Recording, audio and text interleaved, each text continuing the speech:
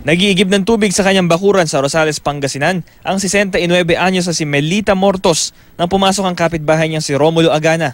Nagbitiw umano ng masasamang salita si Agana bago pinagsasaksak ng bolo si Mortos.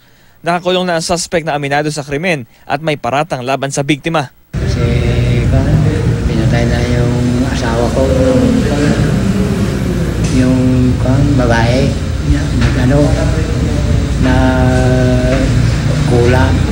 Inoobserbahan naman sa ospital ang biktima.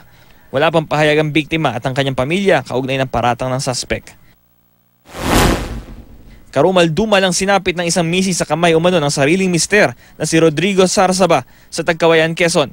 Ayon sa mga polis, posibleng pinaghahampas ng matigas na bagay ang biktima na puno ng pasa sa katawan at durog ang ilang buto.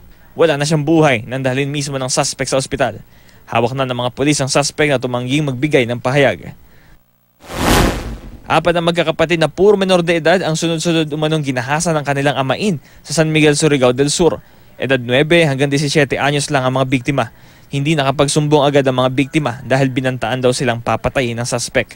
Inaresto na ang suspect na nakuhaan din ng ilang pakete na marijuana. Wala pang pahayag ang suspect. Bam Alegre, GMA News.